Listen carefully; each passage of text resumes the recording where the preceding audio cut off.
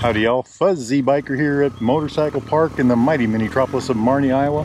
Check out what I got behind me right here. I've been waiting to do this review for quite some time. This is the brand new Royal Enfield Himalayan 452. How's that for a machine, huh? I uh, picked this up Friday. We put about uh, I put about 1,500 miles on it already, so I guess this is the 1,500 mile review. It's really quite a motorcycle, and I've got a lot to say about it. I'll start with, I've been waiting for this bike all my life. How's that? Gleaming endorsement, right? So I am a fanboy. So uh, what is it? Well, it's a ADV. It's liquid cooled. It's got about 40 horsepower. It's got a great suspension. Uh, I call it a traveling bike. We've been calling it a traveling bike. And uh, I'm trying to differentiate it from the big heavy ADVs. This is not a big heavy ADV. This is a lighter ADV that will still go It'll go over 100 miles an hour.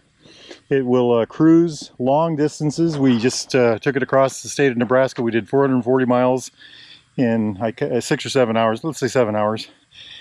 And uh, without any problems, the thing just very comfortable to ride on. You know, it, has got all the right things. So let's talk about the, the specs right quick. Starting with the engine, it's a really nifty single cylinder, liquid cooled, dual overhead cam, four valve per cylinder, engine. There's a radiator right there. It's got a six-speed transmission, an absolutely smooth six-speed transmission versus the old Himalayan, which was kind of tractorish. This engine puts out uh, 40 horsepower and about 30 foot-pounds of torque. That's about 40 newton meters. The power band is very smooth. The torque band is uh, incredibly flat.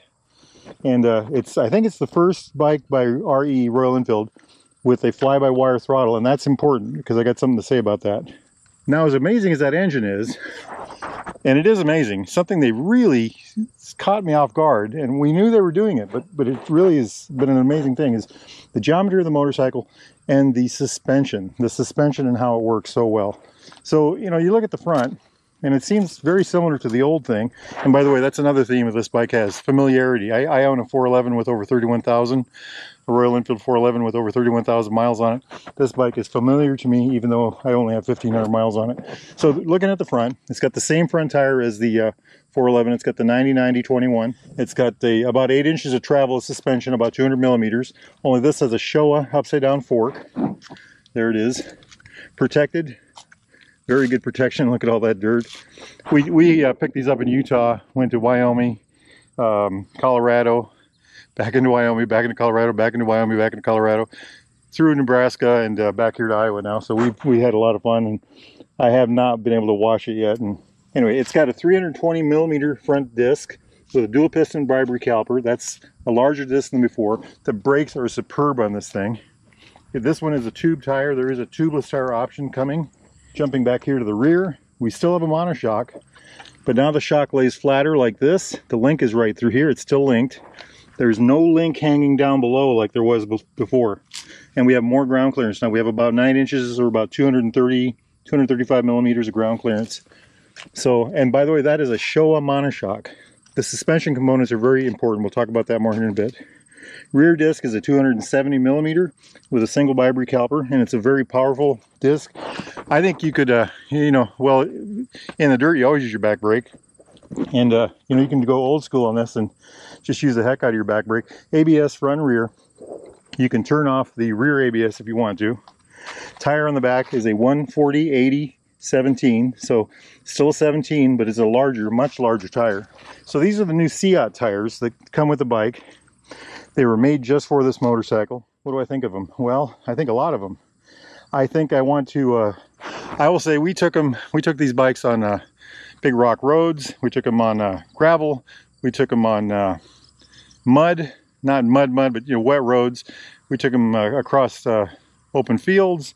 We did all kinds of terrain, you know, dirt roads, all that neat stuff. And the tires performed flawlessly.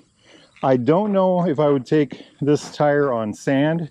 it doesn't have any scooping power or on real mud. You know, if it was, if you're going to go into uh, six inches of mud, you might not, you might want a different tire. The other thing I thought about was pea gravel might be a problem, but in the vast majority of cases, this is a really good tire. What I want to know is how is it going to hold up? You know, um, is it going to be a 5,000 mile tire or a 10,000 mile tire? Or, you know, if it's a 10,000 mile tire, I will put those tires on again. So I've got 16,000 on 1600 on this bike already. So we will find out how that goes. Uh, back to the suspension. You know, we rode this on all kinds of terrain. We did everything from rock covered fields with grass to uh, interstate highway. And this, this thing performed flawlessly, was very comfortable. I don't think I got kidney punched by this bike one time. It, it was just that good. Fuel tank holds four and a half gallons. That's about 17 liters, I believe. And we were getting through the normal riding, we were getting about in the high 60, 66, 67 miles a gallon. And then when we were cutting across the Strait of Nebraska, you know, high speeds, we were getting about 55 miles a gallon. So quite a bit of range, you know, two, we did 200 miles going across Nebraska. We did 199 miles, I think, on one tank.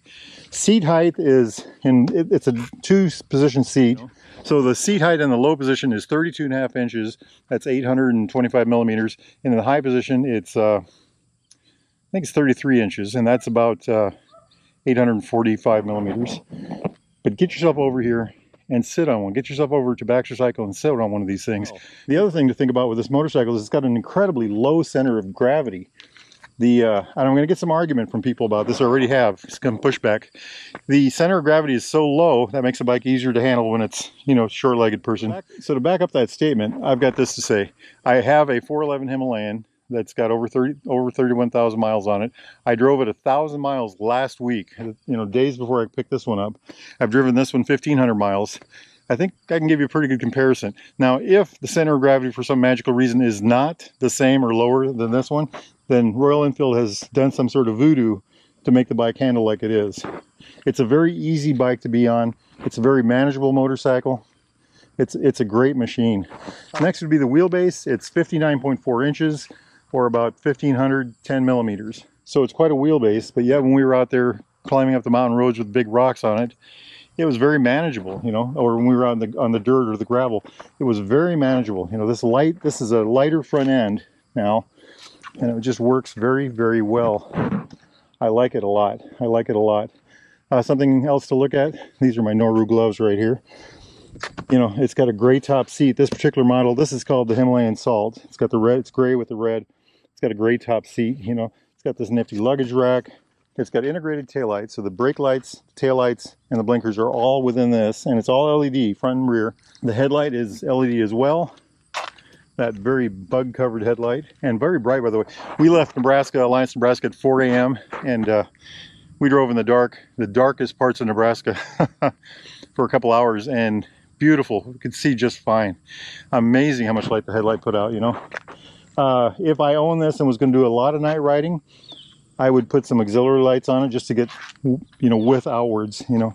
Jumping up here we've got this tall windshield. The standard windshield is about here. I got the tall one on this motorcycle. In here we've got switch gear that is, it's higher quality than before by far, but it's very utilitarian. It's a flash to pass, low beam, high beam, home button over here, blinkers, and this is something very important. The blinkers are very smooth operating. That's something that always bugs me about motorcycles. You get a brand new, really neat motorcycle, and the blinkers are kind of, you know, clunky, and this one is not like that. Horn down here, and then the joystick to control this thing here. We'll look at that in a minute. Kill switch, run switch, start switch, hazard lights over here. Over here's a mode button, and that's really neat too. Down, here is something I want to show you. This is a USB-C power outlet, so you can plug your gear into that. Showa forks right there. Now I want to show you this. This is a an improvement over the old Oculus. This is a total TFT system. It's going to look wavy because the camera is going to show that, but check that out. Over here we've got the uh, tachometer on the top. It's an 8,000 RPM red line. Gear indicator in the center miles per hour, always on clock. Temperature, ambient temperature, outside air. Down here is the odometer, and then the, uh, oh, I'm almost out of gas. The trip meters and stuff, we gotta hit that right there. So trip A right there, trip B, I guess it's trip one, trip two. Fuel range, I've got 13 miles of range left. Fuel consumption, volt meter right there. Service due, engine temperature, and that's it. It has uh, performance modes and eco modes. Now the performance modes have performance mode regular with uh, ABS on, performance mode regular with ABS off on the rear tire. It also has eco mode on and eco mode off with ABS off on the rear tire. Now, uh, this also will turn dark at night. I've got it set on auto so when it gets dark this turns black. with the white lining. Very easy to see, very, uh, you know, very nice. I like it a lot. That is a vast improvement over the shaky, clunky old one that we had before. uh, something I want to show you all here, because I, I know everybody's going to want to know about it. See that big old kickstand? That's a great kickstand, isn't it? This bike leans a lot. I don't know if I can show that here. Uh, the first couple times I put that on the side stand, and actually even this morning I rode this around quite a bit already today. The side stand is so far over when you put the bike down, you feel like you're going to drop it, you know. But uh, I think why they did that, and this is my guess, is they wanted the bike to be easy to get on. So you approach it. You know, I've got a 30 inch inseam and I just threw my leg over that. No, no troubles at all, you know. And I have a feeling, I have a feeling that's why they did it. Uh, there are bags that are made for the sides here. There's all kinds of tie-ins to hook them on. I haven't seen the Royal Enfield ones yet. I've seen some spy photo ones, but I don't know what the uh, big ones are going to look like. There is uh, hard cases that you can get for here on the back. There's a hard case for the top that will fit a full face helmet. You stick your key in down here, you get the seat off, there your toolkit's back here. You know, I said earlier this had a very low center of gravity. We put this on its side. I'll put the video up here in the corner. And uh, a friend of mine you know, we're all in our 60s. He picked it up, then he laid it back down again and he picked it up again.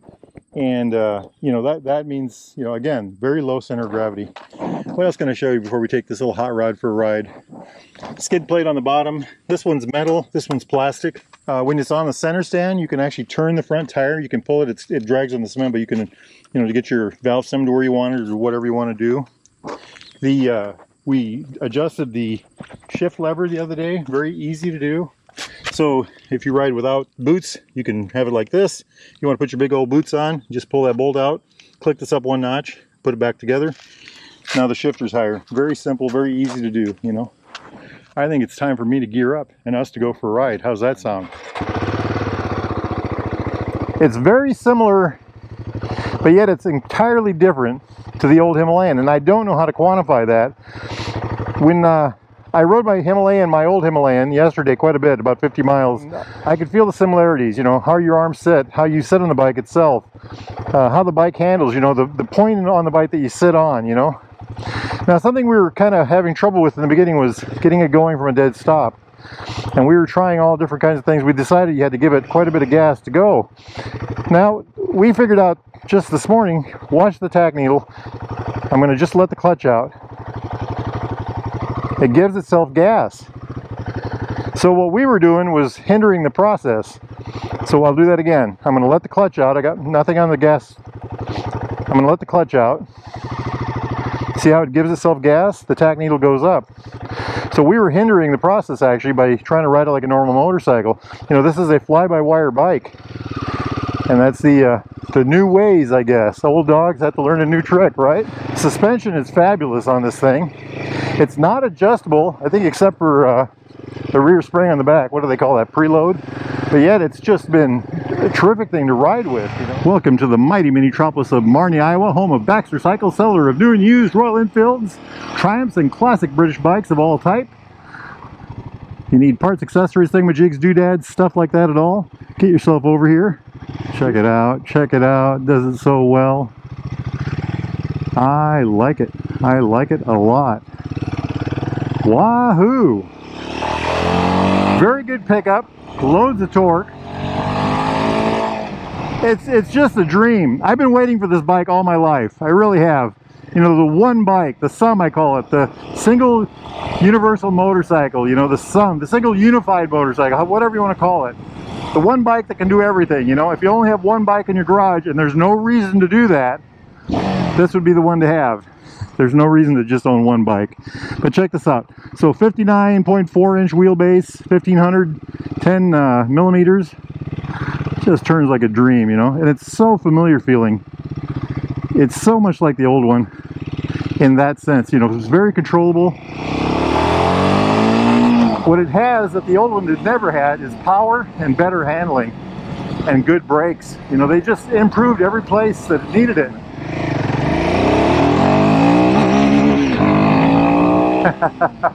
I think we found red line. oh, squirrel! we missed it. Did you guys see that? what a grin! What a grin! Hey, we got a crowd over here.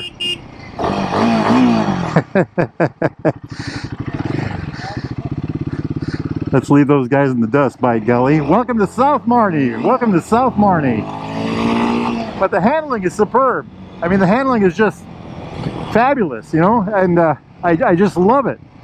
I just love it. And it, you know, it does town. I, I cannot believe the wheelbase is 1510 millimeters because it just does not act like that. I don't know what they've done. I, I think, you know, it, has, it goes back to that incredibly low center of gravity that comes with the bike.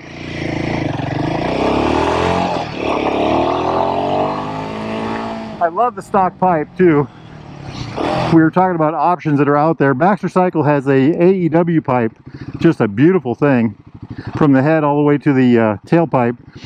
And uh, I, I would like to have something like that, but I don't want to get it right away. That was the famous bridge test. Incredibly good shifting. You just touch the shifter and it goes, you know. Let's see what we can do here. I call this the hill spin test. How's that, huh? Next time you all are in the mighty metropolis of Marne, Iowa, make sure you get yourself over here, right there, to the Derail Grill and grab yourself a Wahoo Burger. Wahoo! we better simmer down a little bit. Simmer down, simmer down. So seating position, you sit, your knees seem like they're lower than your hips. Your heels are behind your knees quite a bit. And your feet are up quite a bit too. Legroom is a little tight, I think. You lean forward, you do reach to the bars a little bit, but I like the way the bars are. And what I like about the bars is when you stand up, you're over the bars. You got a lot of weight over the uh, front tire, which is what you want. You know, you're out in the uh, sticks and rocks and dirt and whatever. Works very well like that. I also think that uh, for long rides, it's very comfortable, very comfortable seating position. And I think the seat, that's another thing I forgot to mention in the earlier talk. I have a, on my 411 Himalayan, I put a seat concept seat on there, very comfortable. This seat is very similar to that seat. You know, very similar indeed.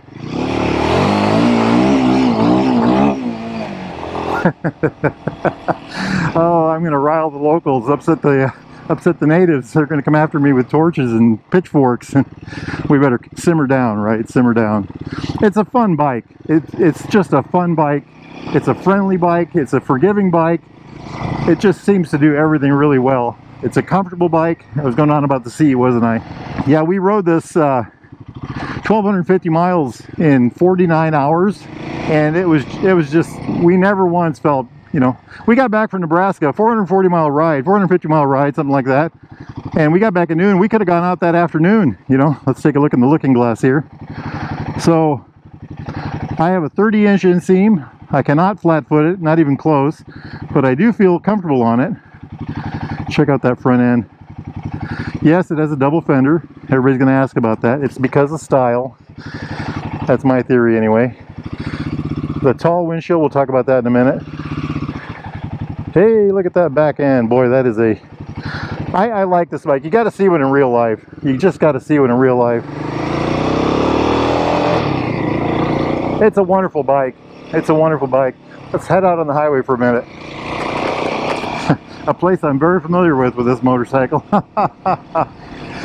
yeah, we, we had a lot of fun on this. Some of the things we did with it, uh, we uh, we went in to get a uh, subway rain while we were in there in some city and I don't know where we were let's say Colorado or or uh, Wyoming. And uh, streets were just slick as thought, no problem you know. Later we were in Laramie? Yeah Laramie Wyoming. And uh, we had to get on the interstate as part of our course ride we rode all the way to Cheyenne on interstate so that's I can't remember 45 50 miles Traffic was going 90-ish and the bikes did absolutely fine. No trouble at all. That's another main difference between this one and the old one is this one has plenty of power to go. Look at that pickup.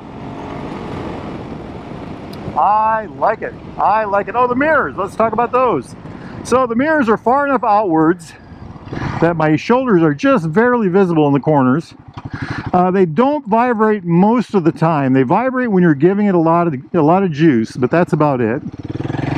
And they, you know, they're very they hold their place good. I'd say the mirrors are very good on these as they are. Listen to that. oh yeah. It's a great bike. How about faults? Let's talk about negativities. See right there? That's where the trip meter is supposed to be. Now I can turn that on by just touching that joy switch and there it is. When I shut the bike off, when I turn it back on, that will be gone again. It'll be blank. And I wish that would stay, you know, that, that would be nice. Um, other things, I would say, well, I don't have anything yet, but I'll come up with something. Just uh, check the next video or two and we'll, we'll find something. It's been a, it's just been a grand bike. I really appreciate it and I really have enjoyed riding it. There's another one just like it. How about that, huh? Hey, maybe we can get him to race, huh? we'll skip that. How's that sound? Uh, it's just been a hoot. It's just been a real hoot, you know. Now, if y'all are interested in a motorcycle like this, a new used Royal Enfield Triumph, classic British bike of any type, need parts, accessories, thingamajigs, doodads, coats, jackets, boots, hats, heavens, socks and underwear. Get yourself over here to Baxter Cycle in the mighty metropolis of Marne, Iowa. Or go to baxtercycle.com. Tell those fine folks that Fuzzy Biker, that's me, sent you. Look how well this does all this. No trouble at all, by golly. They can help you out. now, I'm going to put this up for a minute or two, and then I'm going to hop back on it and go for a long ride, a couple hundred miles today. Life is good, my friends. Life is good. Get out there and ride. Wahoo! Yippee-yi-yay! Yippee-yi-yo! Down the road we go. Beautiful, beautiful machine.